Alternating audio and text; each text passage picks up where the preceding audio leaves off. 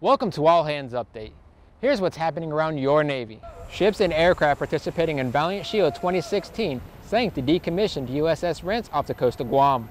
The SINKEX marks the first time Strike Fighter Squadron 115 successfully fired a JSOW C-1 guided glide munition. Valiant Shield 2016 is a biannual U.S.-only field training exercise with a focus on integration of joint training among U.S. forces in relation to current operational plans. September 15th marks the beginning of Hispanic Heritage Month with this year's theme Embracing, Enriching, and Enabling America. The 2016 theme invites us to reflect on Hispanic Americans' vitality and meaningful legacy in our nation's cultural framework. Today marks a milestone in many sailors' careers as roughly 2,000 newly selected Chief Petty Officers are penned around the world. Congratulations, Chiefs!